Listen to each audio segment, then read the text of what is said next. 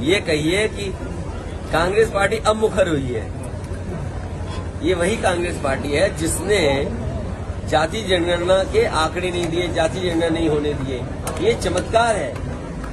प्रखंड मत बोलिए, ये चमत्कार है। क्योंकि सबको एहसास हो गया है कि जब तक पिछड़े दलित और आदिवासी और अल्पसंख्यक भाइयों का साथ नहीं लोगे तो आप कामयाब नहीं होंगे। आपने नहीं देखा? प्रधानमंत्री जी खुद कहते हैं हम पिछड़े हैं। तो अगर पिछड़े दलित और आदिवासी और अगड़े भी कुछ अगर जाति जनगणना मांग रहे हो तो इसमें क्या बात है? तो ये तो चमत्कार सही है कि कांग्रेस पार्टी भी चमत्कार में आ गई और कह रही है उन्हें भी जाति करना चाहिए। क्योंकि उन्हें पता है कि वो वोट जो ढूंढते थे वो वोट अब उनके साथ नहीं है। सर की यही तो वजह नहीं है। नहीं तलकी की वजह ये नहीं है। तलकी की वजह मैंने आपको बता दिया कि अगर आजमगढ़ के साथ किसी पार्टी के लोगों का इमोशन है तो दूसरे पार्टी के लोगों को बड़ा सावधान होकर के बोलना चाहिए। क्योंकि अगर वो आजमगढ़ के लिए बोल रहे हैं तो उनके भी क्षेत्र हैं जिनसे उनका भी इमोशन है।